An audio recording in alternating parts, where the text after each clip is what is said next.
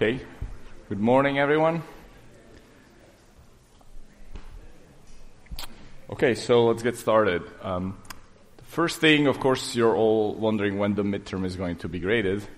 Um, we're really working hard to get thousand plus midterms graded, and hopefully by Saturday it will be graded. So you, will be uh, the grades will be uh, the points will be released, so you can take a look and um, if necessary, ask for regrade. We will give you a window of time in which you, you will be able to submit regrade requests. Um, please be reasonable, um, although we will address any, any concern that you have. So that's one thing. Another one is we wanted to thank you for doing the survey. Uh, you're really, really close to the 75% mark. So a little bit below us. I think by like 40, 50 people below or something. Yeah. Um, so, yeah, I think we're going to be releasing another survey later, and this really helps us understand what's going on in the class. What are you thinking? So, I think keep up the good work, and next time try, you know, a little bit more coordination would, would go a long way. Um, I think we, we maybe next time we can. Uh, post some sort of a marker as to like, hey, 50 more people are needed or something like that so that you have a little bit of an idea to hit that mark. Okay, um, so today we will talk about uh, several topics that kind of continue to build on the 1D touchscreen uh, model that we've uh, created last time. And we kind of already started hinting about what's really going on in this circuit at the end of last lecture, but I want to kind of go, go over that again to catch people up. And then, as we'll see, the key problem there will be really how to measure a voltage on a circuit. In this case, it's a, it's a circuit that's comprised of a few resistors and a supply. But then we're going to generalize that concept. What does it mean to effectively measure a voltage in a circuit, um, a voltage of interest? As well as, for example, current of interest. And you're going to be doing a lot of that in the lab. And it's important to understand under which conditions you can do this, or what kind of circuit can you build to do these measurements while preserving the value that you want to measure. It's kind of like for people who really like physicsy, like the Heisenberg's principle. You know, if you try to measure something, it kind of changes value, so you don't really get the right thing. Well, if you don't use the right circuit, you can also do that here uh, in circuits. And so we want to create special conditions under which a measurement circuit needs to work in order to be able to actually measure the voltage in a given circuit or measure a current. Right? And that actually has to do with the notion of power dissipation. So we're going to take a look at what that means. We kind of already hinted at what, the energy is. Um, and then we're going to talk about power. And if we get a time, we'll, we'll do one interesting circuit. It's going to take us kind of a step further toward a full 2D touch. So let's revisit a little bit uh, this 1D touchscreen uh, circuit.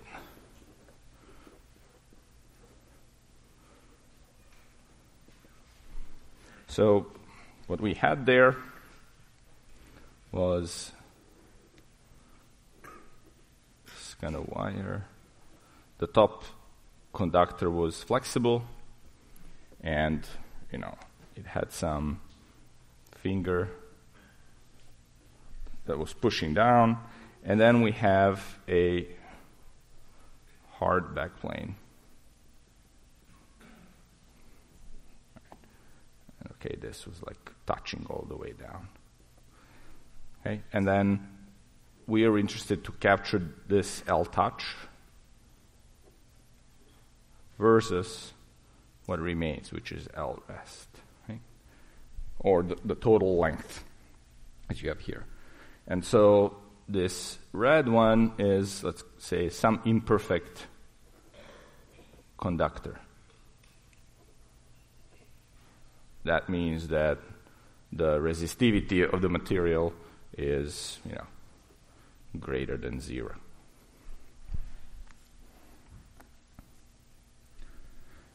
And so what we did last time is we're going to say, okay, well, I can just like add a circuit. Okay, you can see something like this, where these lines are kind of my ideal wire elements, so they don't really matter. Um, they're just connecting this supply source, VS. Um, and we picked kind of a reference node here. And so this is kind of what I have if I was trying to build this in the lab. And actually, you will be doing exactly this. You'll be building this in the lab and adding uh, a voltage source to it and trying to uh, measure uh, the this potential here, U mid. So we kind of derived last time that that voltage is actually what we want to measure. That's in um, represents a ratio of this resistance here, L touch, and, and the full uh, length of the resistance of the top conductor. But the trick was that without this backplane, in, in uh, this blue backplane, or I draw it as blue, without having that backplane, you'd have to have to kind of run along the way where the finger is touching and measure at that point or understand where that point is so that you can measure voltage in that point that U mid because that voltage that voltage difference between U mid and this reference node would represent this ratio of L touch to the overall length. Well, the problem with that is you don't know where the finger is touching. That's what you're supposed to figure out. Right? And so the idea is that I would like to measure voltage always at the same point in the circuit, some fixed point. But I would like that voltage to give me a change where my finger is. Right? So let's say I wanted, I would like to observe the voltage here at the end between, let's say, let's call this U1, node U1, between U1 and 0, right? This is where I want to take my voltmeter or whatever is the measuring circuit and just put down the plus and minus, the red and the blue probe, and measure. So I'm always measuring here, but I want this U1 potential to reflect U mid, regardless of where the finger is uh, here on the screen. Right? So we said last time that's a little bit like magic. Right? I, I sit in one place and measuring but actually that voltage changes depending on where I'm pushing on the screen. So this is kind of what's physically going on. And whenever we're trying to analyze that behavior, we need some sort of a simplification to be able to think a little bit about it. So we create models. And in this class, we're going to be doing that a lot. In design problems, in homework, in uh, the exams, but more generally, we're trying to teach you these design skills, how to see what's happening in the physical world, create as simple a model as possible with which you can explain what's going on, and then create a circuit or hardware design or a system design that will be able to address that problem. Right? And then once you have that model, you can analyze that model and do things with it, right? Build, build, build on top of it. So, the first thing we're going to do here is create a very simple model. And then you'll see that maybe that model is not really adequate. We can start adding more real, realism to that model, right? And to kind of build on top of it. But maybe to the first extent it will give us a little hint what's going on. So let's say let's create model one. Whenever you're creating a model, you need to create some simplifications or make some assumptions. So what is I want to make an assumption about this blue wire, this backplane wire, because as you see last time, when we had just the red wire, we had an easy time, right? What type of model did we use for just the red wire last time? Does anybody remember? Hmm? You speak up? Voltage divider. Yeah, that was the whole circuit, but just for the wire right? We turn the wire into something, some elements we know. Yes? Two resistors. Two resistors. That's right. That was as simple as that. We said that, look, top wire is an imperfect conductor. resistivity is greater than zero. Okay, so that means a segment of that wire is a resistor. And I have the formula for it. It's a model, rho times L over A, right? That's essentially um, the model that describes that behavior. And everything was good. We, we, we then derived, based on that model, the voltage divider equation. Because I didn't even need to know the resisti- resistivity of that wire. Once I created a two resistor model, I can solve it and get a voltage divider, right? So it's kind of independent. Solving the model is independent of the physics that's needed to create the model.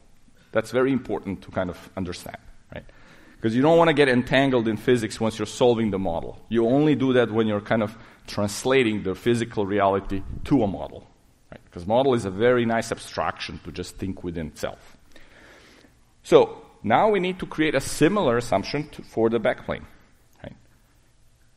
But we want to do it in a way that makes this circuit easy to analyze. Because two resistor circuit, we kind of still had to write out all these equations and solve it, etc., to realize that it is a voltage divider. Right? So now we want to try to create the simplest possible model for this conductor. Right? So this is this is the conductor that we are uh, interested in. So what's the simplest possible approximation for this conductor?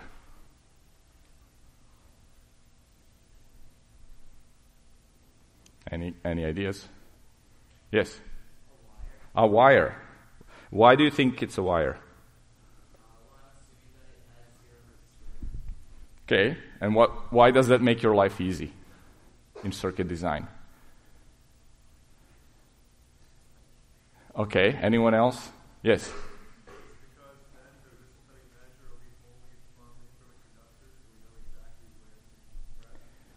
Okay, so you're going like a few steps ahead, but just, just looking at that element, a resistor versus a wire, why is a wire a simpler element to kind of deal with?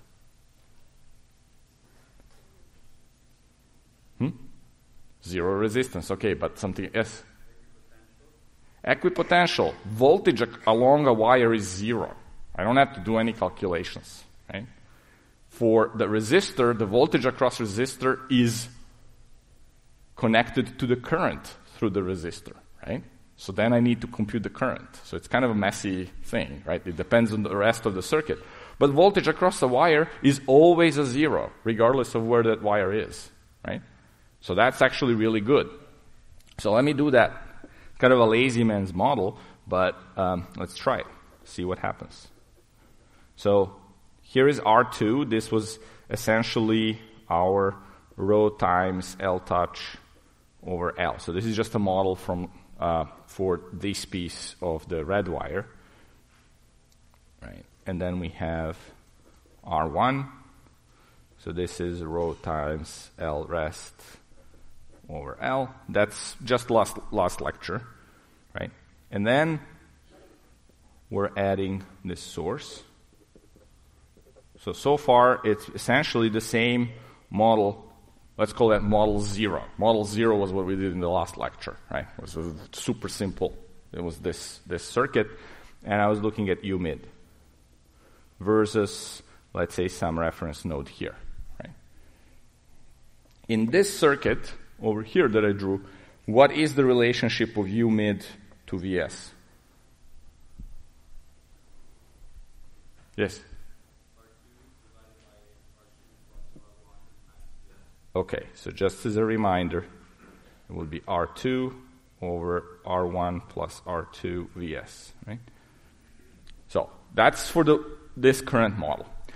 That was model zero. So let's say model zero. Zero, last lecture. Okay, now we want to add the effect of this backplane. But we said we're going to model it as an ideal wire. So that looks something like this.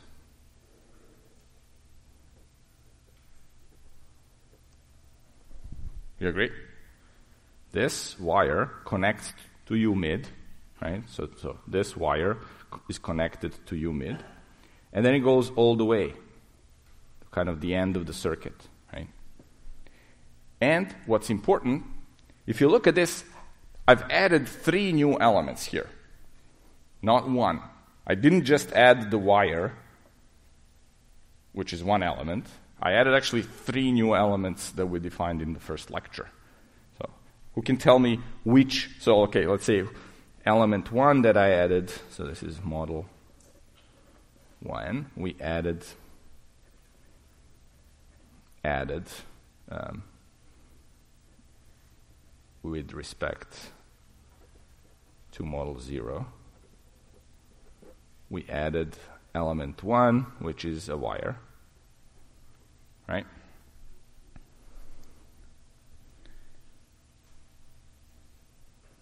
And then, what is element 2? So, element 1 is this wire, right? That's just this piece. What other two elements are kind of implicit in this circuit? Hmm? Yes? Open circuit. Okay, great. Where, where is this open circuit? Just looking at here, when I draw, drew this wire, where is the open circuit? On the two ends, right? Yes. So here is one, right? So this is open circuit. Right? And so let's call let's let's do what we do with the elements, right? I'm just going to label the voltage plus minus V element 2. Sorry, it's kind of getting small.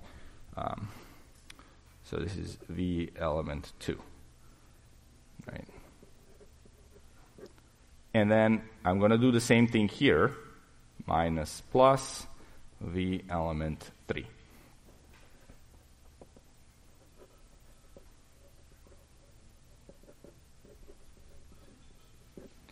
And then I'll just label, I'm treating this whole thing as as a wire, so I'll just label it as an element, minus plus the element 1. Right. So remember, what, what do we do with, ele- with any element that we have? Any element that we have has voltage on an element and a circuit on an element. Right? So that's all I'm doing right now. I'm just marking the voltages on these new elements that I've added because now I want to apply some of these definitions for each one of these elements to try to connect the node potentials in the circuit to these va- values that are defined for each element. And maybe through that I will be able to solve something. Right? I don't want to do like the full system of equations because it's not really necessary. Okay. So What I'm really trying to do is go from zero here to U mid by using these element voltages. Right? So it's kind of climbing the stairs. I want to use those to come from zero to U mid. And in that way, I will be able to relate U mid to all these element voltages and then see how that plays out. Does that make sense? Okay. So, um, we said that this node here we're going to call U1, right? That was basically this piece over here. So that's the potential at the end of this wire, right? So the first thing we can write is that U1 minus 0, so that's this, equals to V element 2, right? So this is a definition. Element voltage. So element voltage is a difference of the potentials on each terminal, right? So that's what's going on here. The potential on this terminal of open circuit is U1. The potential on this terminal is zero. The difference between U1 and zero is this V element. You see how plus and minus are oriented here, right? Maybe just to zoom in, zero is here, U1 is here, this is V element 1 or sorry, the element 2. Does that make sense? If it doesn't, please let me know. This is kind of important to, to recognize these parts of the circuits and these relationships. Does that make sense? Anyone confused? Yes?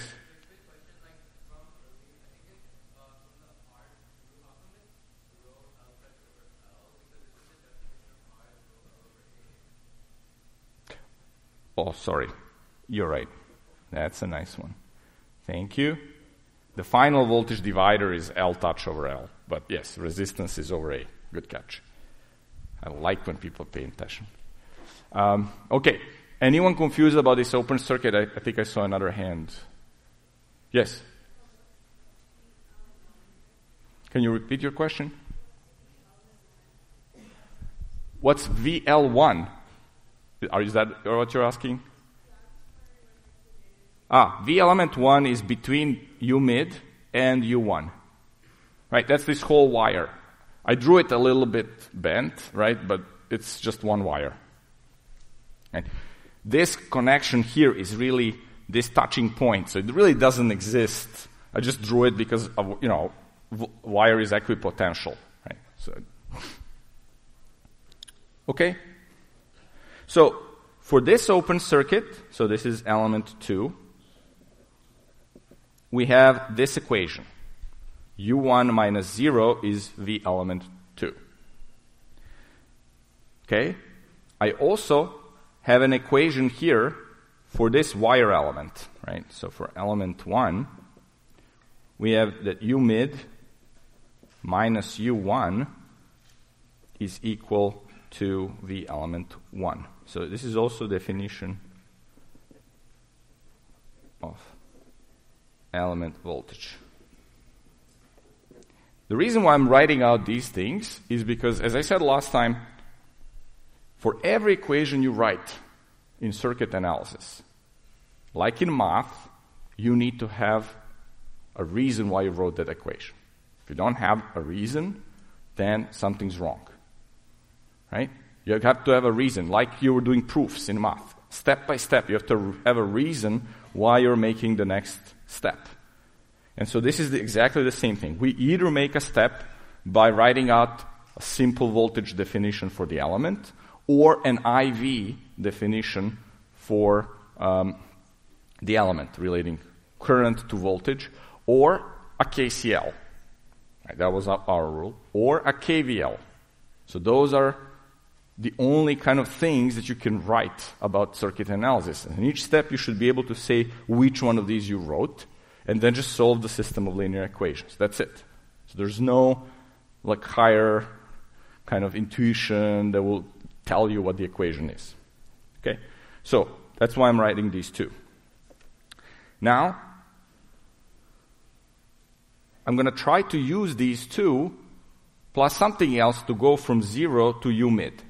So, can anyone tell me what, what rule should I be able to use to go from zero to U mid via V element 1 and V element 2?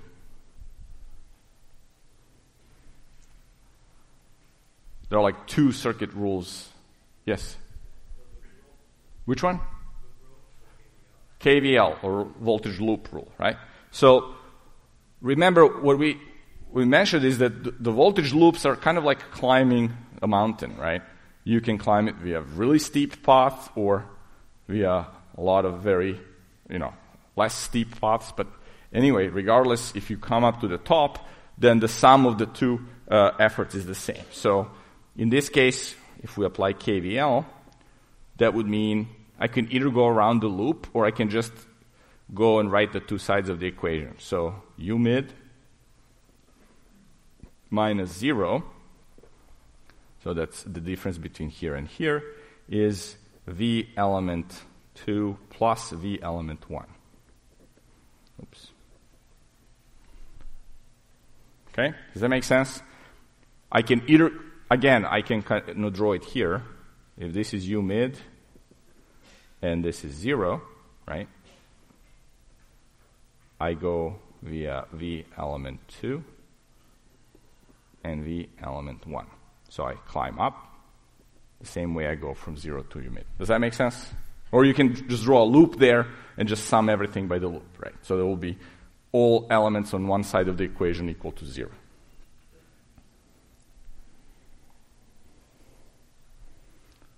This make sense? No? Yeah. Okay, so let's quickly solve this. This shouldn't be that hard to solve.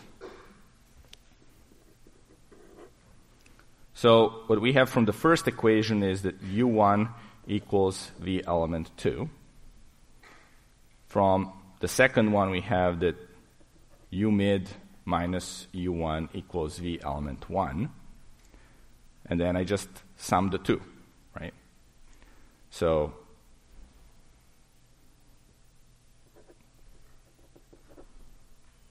if you, if you look at these two, when I sum them together, I will get u mid minus u1 plus u1 um, minus 0 equals v element 1 plus v element 2. Right. Or in other words, u mid equals v element 1 plus v element 2. So this is just like deriving a KVL, right? Seeing what, what is what. But then, okay, one thing I want, I want you to see from here is that I can apply a definition of the element. The element voltage for the wire. What is V element 2 equal to? Hmm?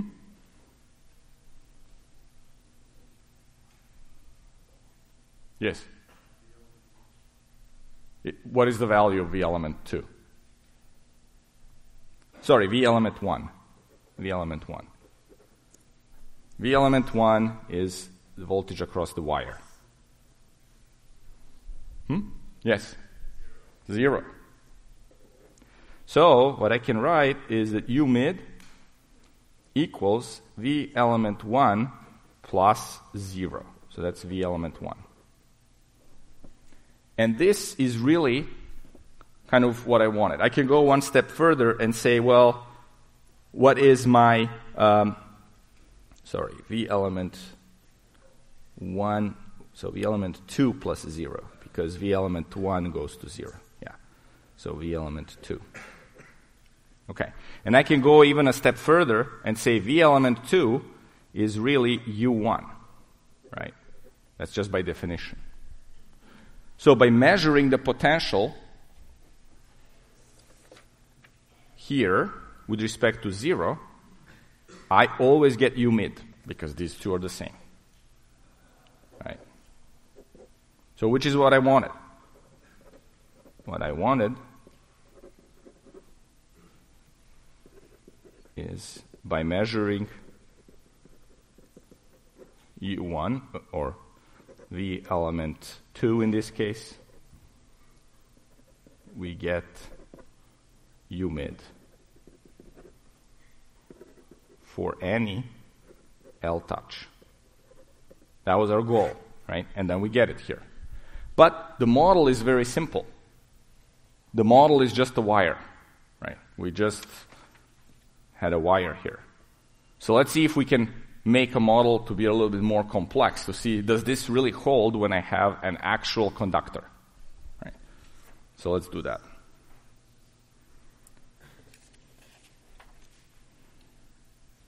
Okay. So let's make a model too. So imperfect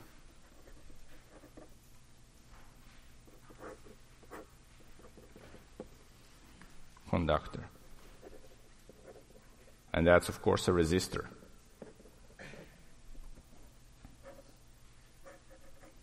So we have R2, that's our old model, R1.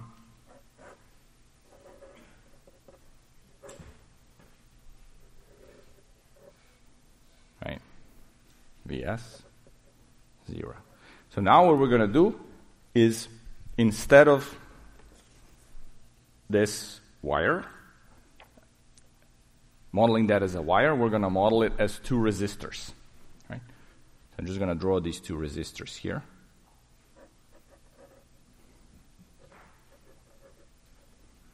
So let's call these like R4 and let's say R3. And then I'm going to use a wire here. Really, this wire is just this point, right, where two materials are touching. So there's really nothing there. I can safely model that as a wire. Not, know. okay. So let's see what do we have here. We've added, if I just look at this piece over here, what we've added is element 1, which is open circuit. Right? That's this piece over here. So let's call that, in this case, I'm going to call it element 1. Right. This has some current I1.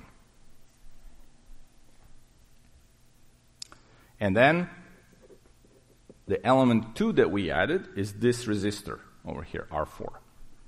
So, resistor. Does anyone know? So, okay, let's label this as U mid. Why, why don't I care about resistor R3 in this case? Yes?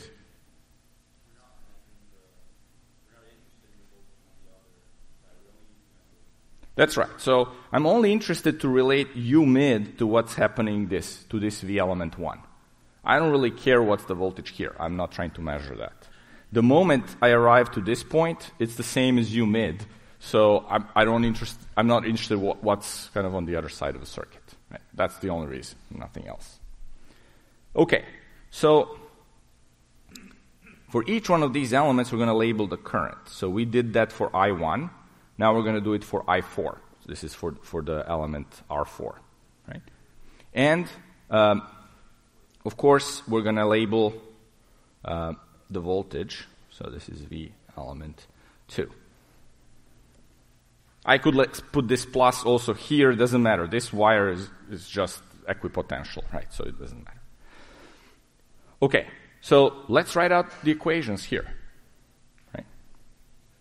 So the first thing we have is KCL. Right? By KCL, I will relate I1 and I4. So I1 equals I4. Does that make sense? I4 comes into R4. It also exits out of I4. So it's the same as I1. We can say that there is a junction here, right? So what comes into the junction also exits the junction, right? So I1 equals I4. Okay? But by element 1 definition, what is I1? What is the current of an open circuit? Zero, I'm hearing, right? So, that means that I4 equals zero from KCL. So that means that the current through this resistor is zero. Well, that's a good thing to know, right? Let's look at the other side. Right? Element 2 is a resistor, so it has a property that V element 2 equals R4 times I4, right? That's just Ohm's law. Like for that resistor, its current is I4, so therefore its voltage has to be R4 times I4.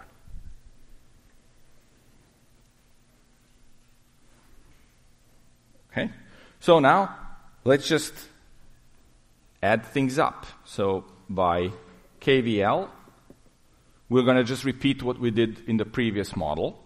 So we're interested to find out what U mid minus zero is. What is this potential difference? And we just go by V element 1 and by V element 2. So it's V element 1 plus V element 2. So here U mid equals, for V element 1, we don't know what it is. That voltage is just set by the rest of the circuit. But for V element 2, we know it's R4 times I4. But from here, we know that I4 is 0. Right? So therefore, U mid equals V element 1. That's the magic. Right? So that's exactly what we wanted, right? We wanted U mid with respect to the reference node to be equal to this voltage that we're measuring at the end of the panel. Right? Regardless of where U mid, where the touching point is. Right? So this allows us to measure U mid at the element 1 regardless of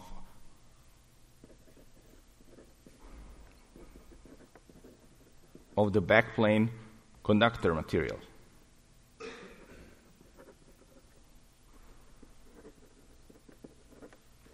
And value of L touch.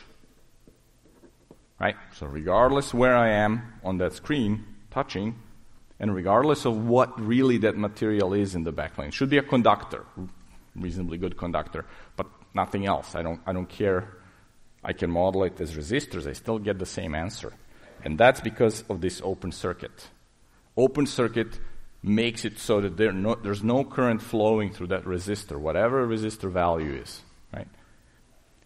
And then, therefore, the voltage across the resistor is zero, connecting this potential to this potential here that I'm trying to measure. Does that make sense? Yes.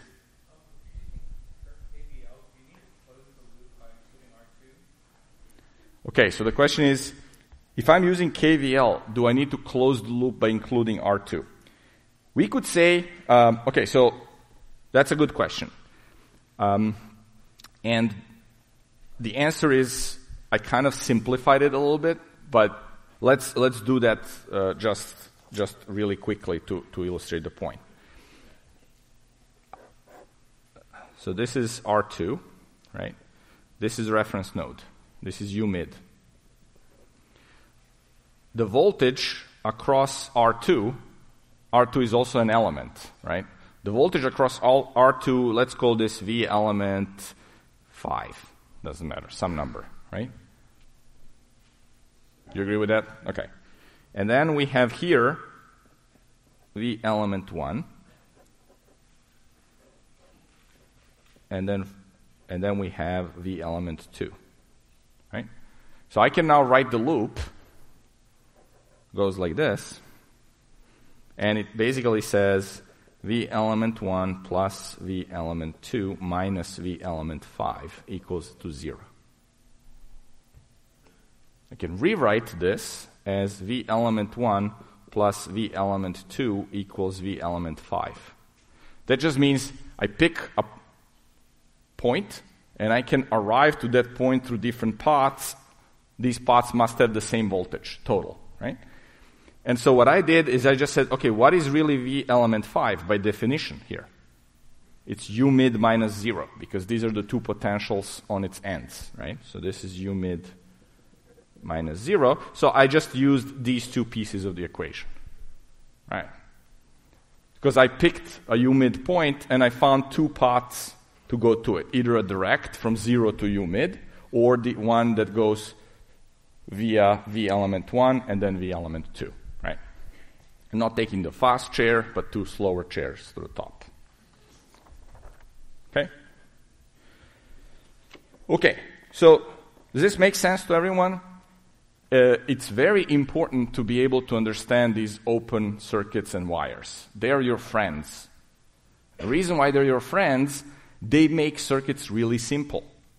When there's an open circuit, there's zero current, right? So that's very easy to deal with. And you'll see in a, in a few lectures, we're actually going to uh, give you some extra techniques with which you will be able to turn different elements in the circuit into open circuits and wires and significantly simplify how the circuit looks like. And then you can analyze it with a very few equations right, very quickly. So th- those are kind of the uh, shortcuts or like wormholes through the galaxy, right? Like you can jump from one end to another very quickly because you know the simplification.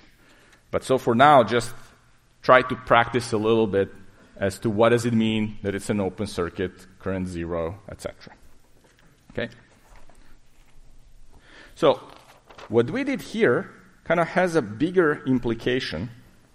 Um, as I mentioned earlier,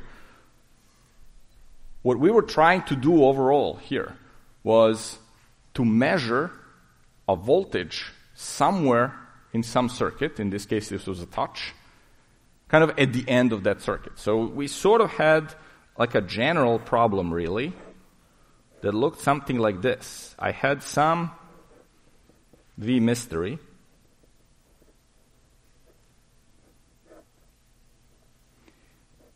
Some unknown resistance. And I couldn't see any of that. That's all inside the box. And we, what we were trying to do is really, by having access to the external two lids of the circuit, we wanted to add something to it.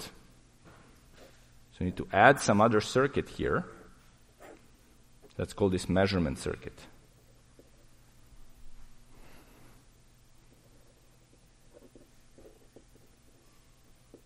Right? We want to add a measurement circuit such that this voltage here that we measured, because that's the only thing we can observe, is actually our V mystery.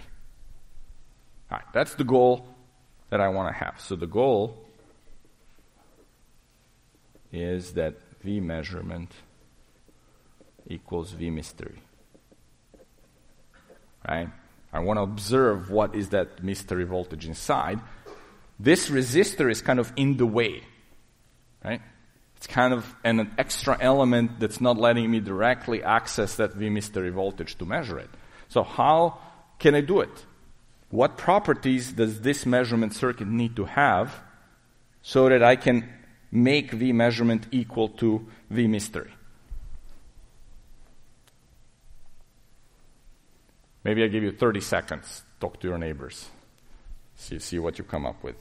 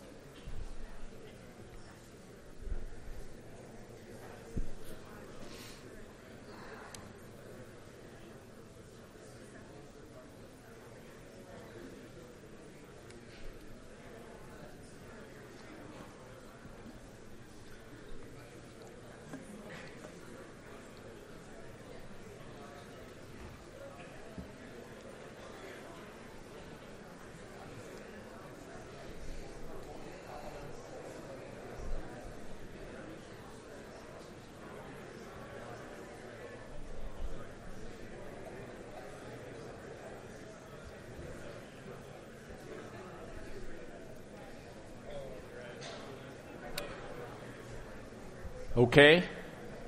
Any ideas? Anyone? Yes? Okay, so the idea is let's make this circuit behave as an open circuit, right? It's just an open circuit, doesn't do us no good. But like, if at least this measurement circuit to this circuit behaves, looks like an open circuit, then we, we have a chance. And why, why, why do you think that will work? Okay, so, so that's a little bit more advanced answer. Let me parse that a little bit. Uh, that means that this current here, I measurement, is zero.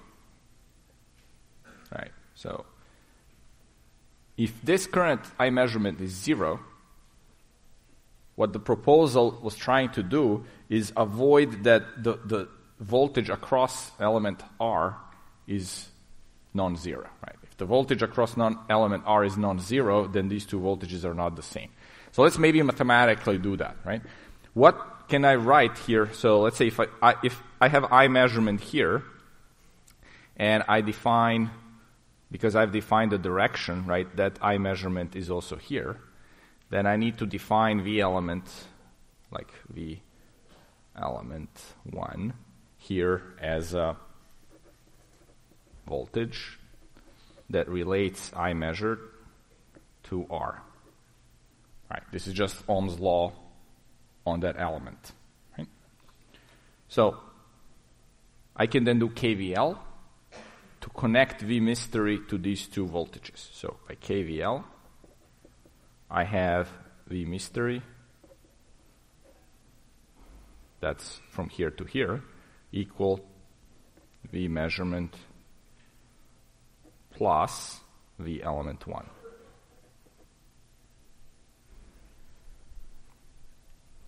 Does that make sense what I wrote?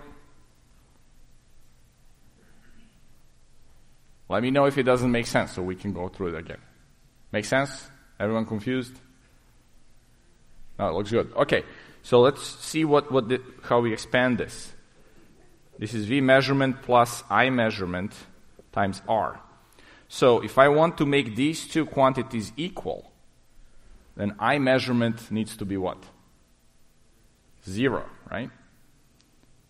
So if this is zero, then V mystery equals V measurement, right? So only under I measurement equals zero. Well, I can get I measurement to be zero only if to this circuit, this measurement circuit looks like an open circuit, right? If I, if essentially what, what looks inside is kind of like this, right?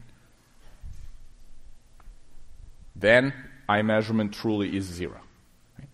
So um, that's actually one of the key things that measurement should not not change the energy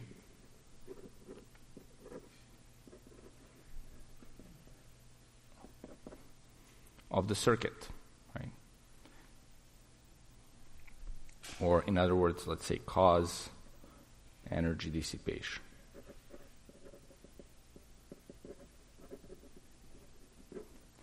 Remember, energy is needed to move a particle from a location to location. If I'm not drawing any current from this circuit, then I'm not actually dissipating any energy in this measurement circuit. So I'm not taking any energy away from this circuit. And that tells me that I'm on the right path to be able to measure this internal voltage. Okay? So, in fact, let's define this a little bit more precisely. Right? So, we previously defined a voltage, a voltage between points a and B as, let's say like this, VAB was equal to the energy expended to move a unit charge, right? So to move dE is the delta in energy It's expended to move charge dQ. From point A, so dE is the energy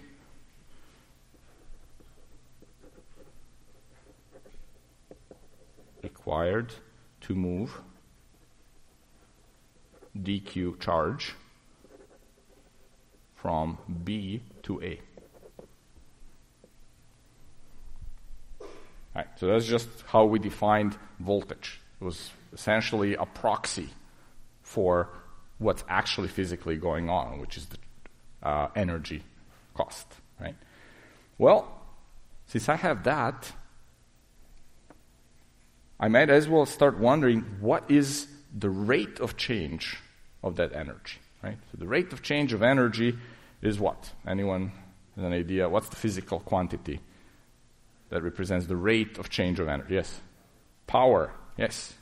So we're going to define power is the rate of energy change. Right, so power will be equal dE over dt That's going to be equal to dE over dQ times dQ over dt. So from here, we can start seeing some patterns, right? What is dE over dQ? Hmm? Anyone? Yes. Voltage, right? So, it's voltage. What is dq dt? Okay, this is from a few lectures ago. Yes? Current. Right? So we see here that power is voltage times current. Always. Whether the voltage is changing or current is changing, power is always a product of the two. If I want energy over a period of time, then I would have to go back and kind of do a little bit of integration of that power over time to be able to find the energy, right? Just because of these derivatives here, or this one over here, right? Okay? Now, there's some special thing about this voltage and this current in our circuits. Remember, for each element, we define them using passive sign convention, right? So let's see how that looks like.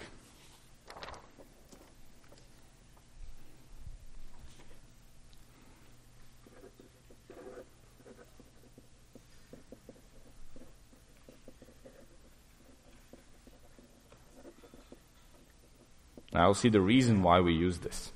Okay? So I have an element. It has I element and it has V element. We defined plus here where the current enters, so that's passive sign convention.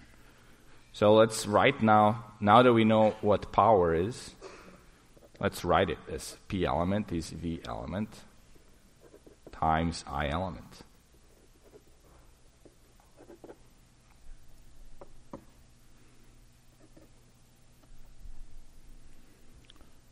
So, in general, this doesn't mean. So, let's do it for a few. It's just an expression, but it really, what's really going on depends what type of element this is, right? So, let's do a few cases. If element is an, a resistor, for example, what happens? We can tie the element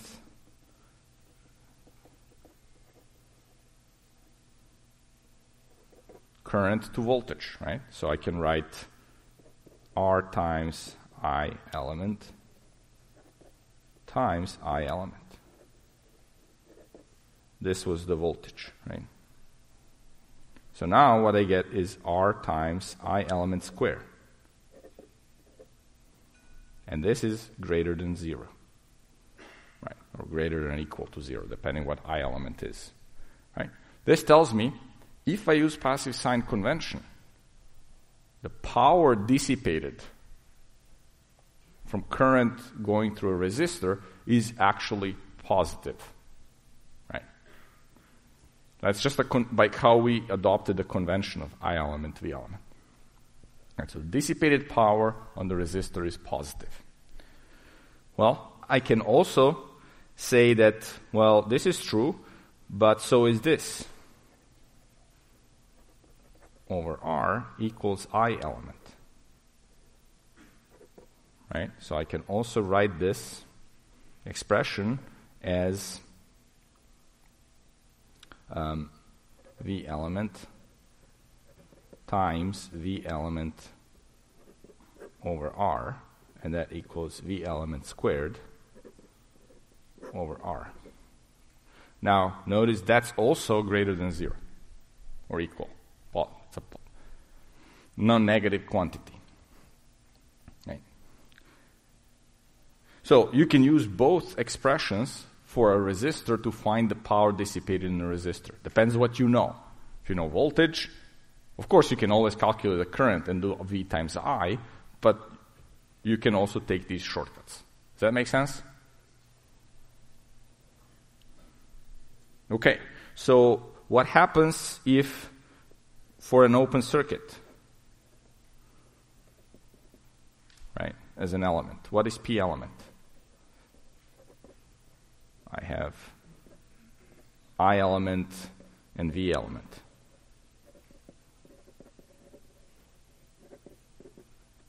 What's the power for the open circuit? Yes? Zero, right?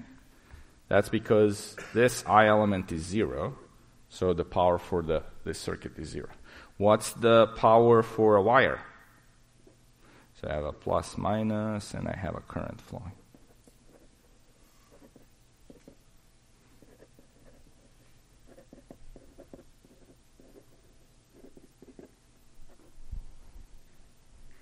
Hmm? Yes. Zero, I'm seeing signs. Yes, that's because V element is zero in this case. Right?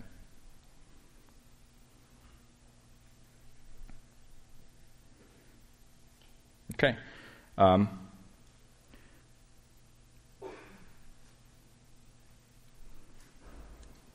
if I have, say, oh, actually, we're going to do that example later. Um, okay, so let's just do the units here real quick. So power is watts. Right? And a watt is equal to volt times amp.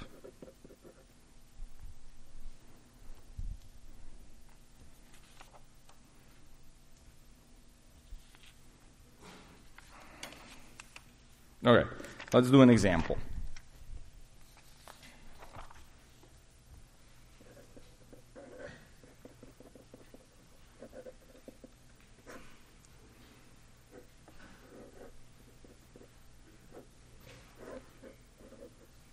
One should be already familiar. So let's say this supply is Vs and we have some resistor RL.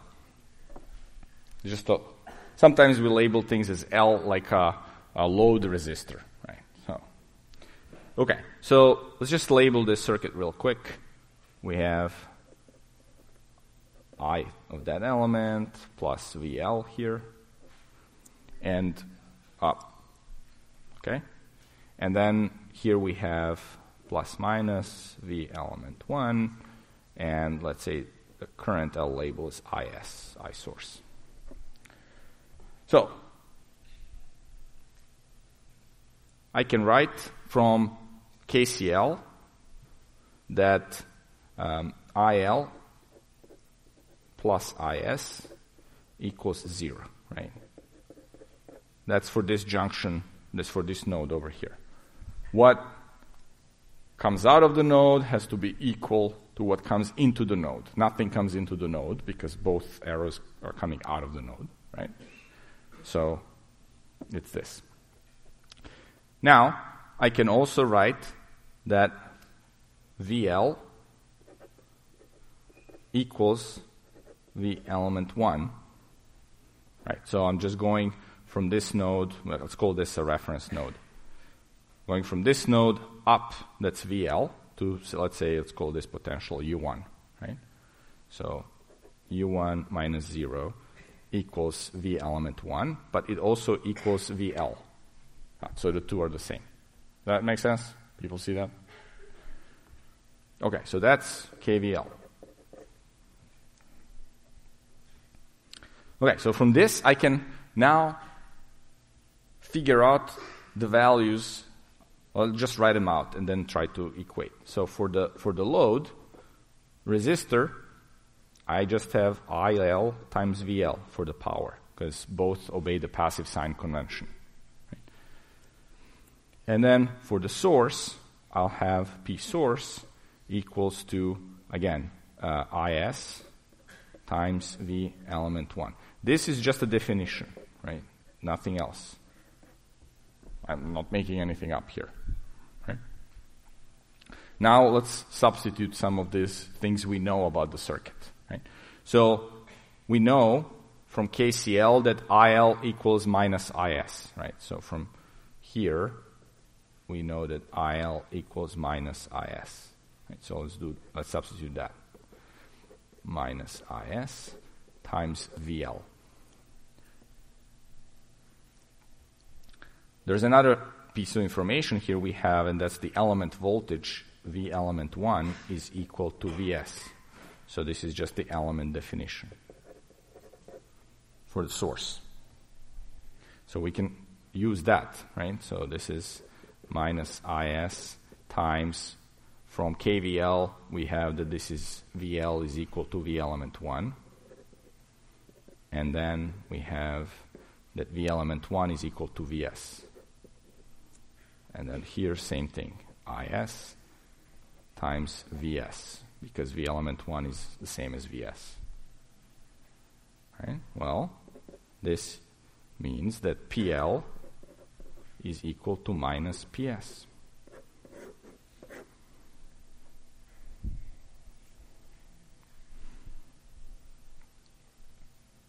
Right? Does this surprise you?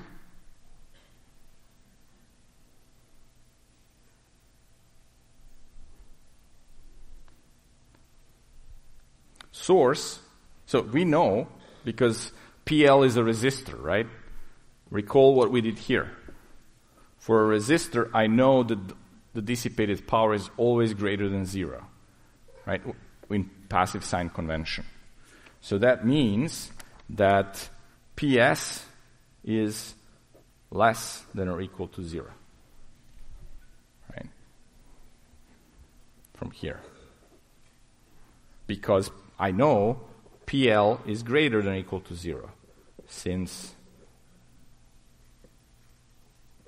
RL is a resistor. Right? So, if you just follow the passive sign convention, this means that sources will have negative power dissipation, meaning they don't dissipate power, they actually produce power. Right? So that's kind of logical. Resistors have positive power dissipation because they're consumers. They're, they're dissipating power. Right? They're, so this produces energy, this dissipates it. Right? That's why this has a positive power, this has negative power. Right? The sum of the two is zero, which means whatever is produced is consumed. Right? Does that remind you of some law, like a more, more general law in nature? Conservation of what? Yes, and in fact, I really want to remind you that this is a very, very important law. You're now students, undergrads, you'll be maybe grad students, maybe engineers, maybe you become a venture capitalist, whatever you become, you should always test people on this basic principle. Whatever theory they try to sell you, or whatever design someone tries to show you, you first ask yourself a question Does this conserve energy? Because believe me, there's many people who try to sell you stuff that doesn't. Right? And so it's very easy with this very simple analysis to prove that something is a BS idea or not. Okay? And you need to have that type of filter as an engineer, scientist, a businessman, etc. Right? So these kinds of first order things are very important to learn. Right? So you look at the circuit or something say, hey, back on the envelope calculation says this will never work. Okay? That's a very important statement. But you can do it from 16a type principles. Okay? So keep that in mind. Okay. So, so far we looked at how do you measure voltage in a mystery circuit, right? Same, so, okay, let's just write this just so people conservation of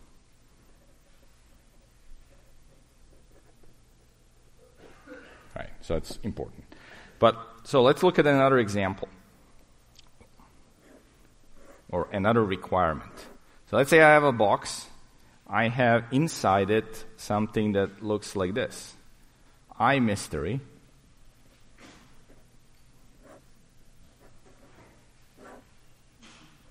Some R that's in the way, and I have a measurement circuit.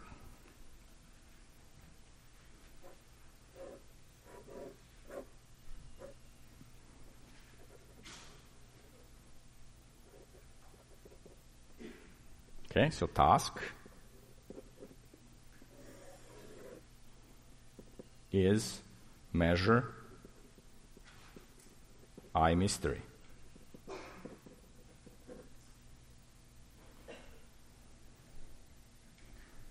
Okay.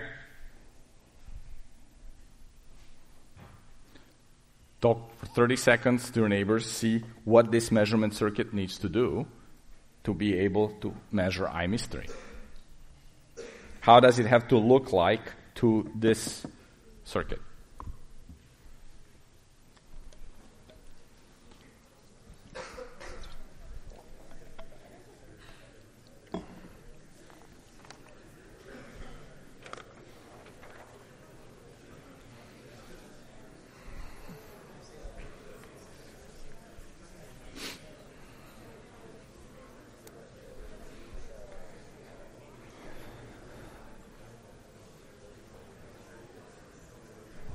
Question?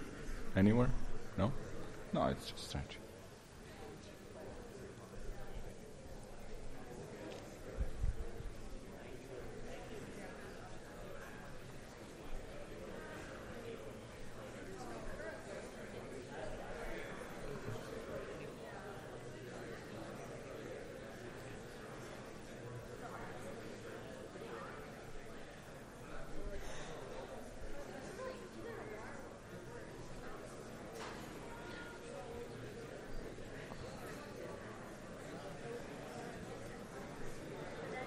Okay. Uh, ideas?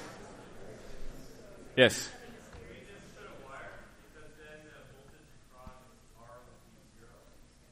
Yeah, bingo.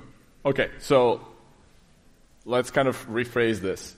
This measurement circuit to this circuit needs to look as a wire. Because voltage across a wire is zero. If the voltage across is these two terms, so let's say, let's label this as V measurement, right? And then again, I measurement. If V measurement is zero, right? Then the voltage across this resistor is also zero, which means that the current through it is zero, which means that all of the current from this I mystery is going to go into I measurement. So this is just an explanation, okay? Now we're going to derive it. Right? So don't don't get don't be like oh i don't understand it. I can't solve it ever. Um, it, it's just kind of how things work intuitively but let's go through it. It's actually not that um, complicated. So this is just a resistor right? We're going to label its current as ir so let's look at this node over here and just apply kcl so from kcl we have three currents I mystery. It's coming into the node and has to be equal to what's coming out of the node, which is IR plus I measure. Right? So, this only is equal to I measurement if IR equals 0. Right? But for IR to be 0, so I have another equation here which says, well, this V measurement is really the same voltage on, on R, right? This is the same voltage. So for that voltage, the Ohm's law applies for the resist, uh, resistor as an element. So V measure will be equal to IR times R. So for the current to be, I can express the current here as V measured over R. So for this current to be zero, right, then V measurement has to be equal to zero. Which the comment was, I need a wire. We know that if I have a wire here, right, then by definition, this V measurement is zero. Right? So if this measurement circuit looks like a wire, by definition, V measurement is zero. So this is by definition, if measurement circuit looks like a wire.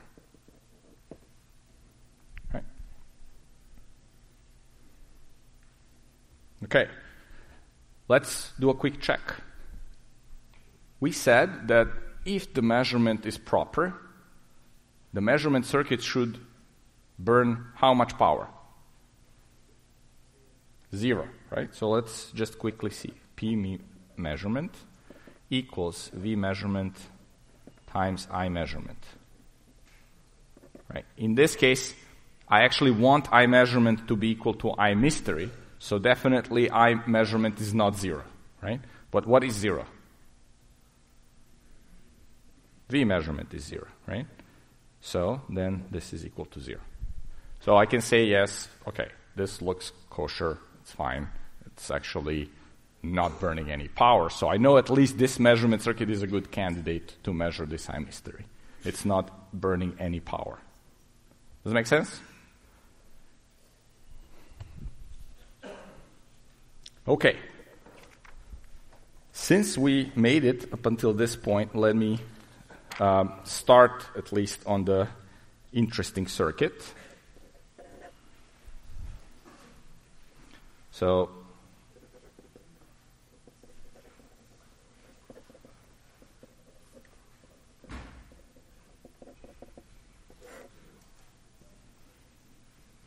And so, actually, before I do that, let me just get a quick vote here for this circuit.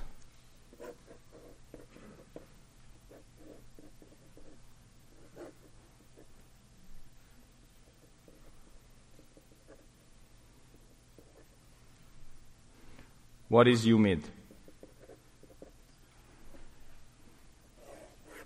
For this circuit over here. This should be like bam. Hmm, yes. Okay, so you're saying R1 divided by R1 plus R2? Okay, who agrees with that? Any other ideas? You're close. R2 divided by R1 plus R2.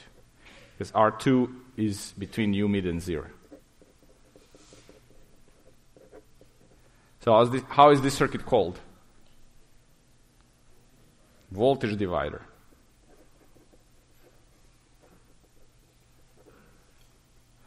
So we're not doing any, any circuit analysis anymore on this. This is just an operator, right? You see this circuit, you know immediately what, what the answer is.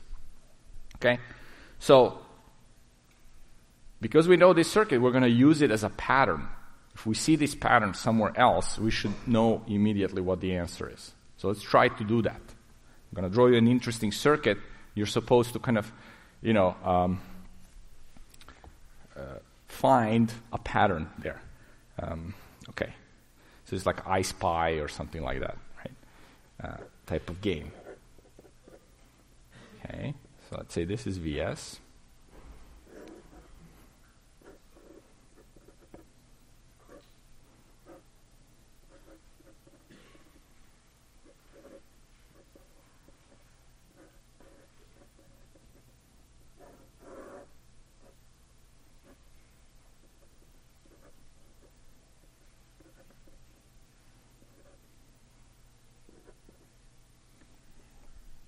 Okay?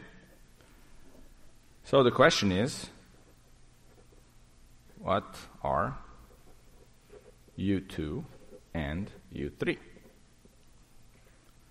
So, okay, I'll let you talk to your neighbors for about a minute. Let's see if we can come up with what U2 and U3 are as a function of these resistors and the supply.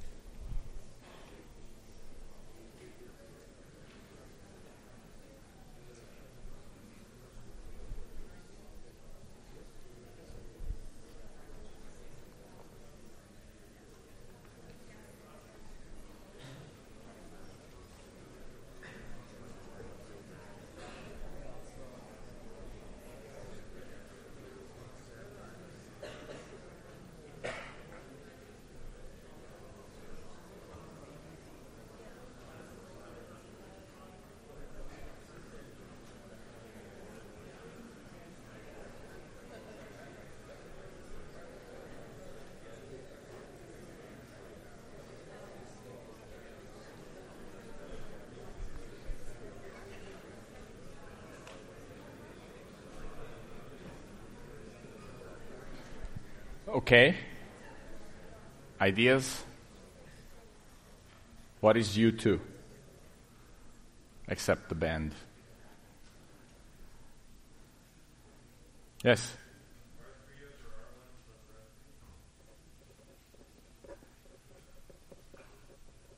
Okay, units R3 over R1 plus R3, something else is missing.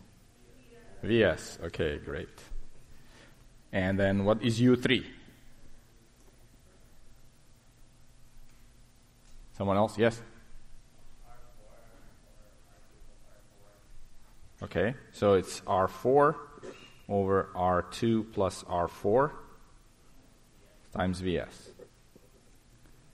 Okay, so we just applied two voltage divider patterns. But to be able to do that, there's some step that you both did that's kind of maybe non obvious. And what, what is that step?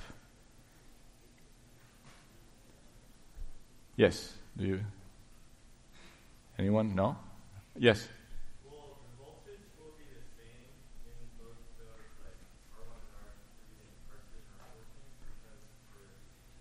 Okay, so what you're trying to say is that, hey, I need to make a step to realize that the voltage between these two points is the same as between these two points, is the same as between these two points. Right? Because once I know that u1 minus 0 is uh, Vs, then it's just a voltage divider right, to get to U2. Same thing here. Because look at this circuit over here. Right? If this voltage is Vs, I mean, okay, fine. This is my circuit. Right? It's a voltage divider. I also don't care about this if Vs indeed gets across. And why is that true? Well, think about what this piece is. This is a wire, right? A wire has zero voltage across it, so it's one node. So the potential between any part of this node over here, which is also is our reference node, and the top is the same.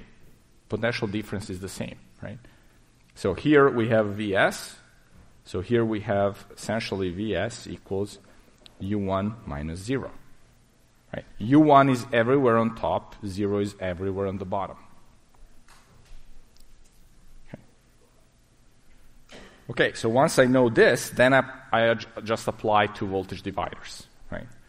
So I can say that U2 minus 0 equals R3 over R1 plus R3 times U1 minus 0, right? And I know that this is Vs, this is U2, right? So that's where we get this formula. And then same for U3. U3 minus 0, that's this voltage, equals R4 over R2 plus R4 times, again, U1 minus 0. Sorry, this is Vs. Is Vs. Okay? Okay, we'll continue next lecture. You'll see some other properties once we kind of make these resistors very special. Thank you.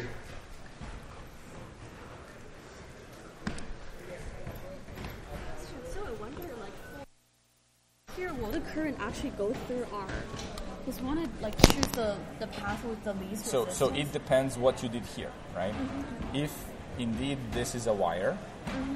right then wire has zero resistance right so the path with least resistance is this oops sorry is this way which is exactly why I measurement becomes I mystery I see. Oh, so we just bypass the R. It can, yeah, you can say bypasses R, but it does so because the voltage here is zero, right? Voltage across a wire is zero, so therefore the voltage across the resistor is zero. Voltage across the ah. resistor is zero means the current through the resistor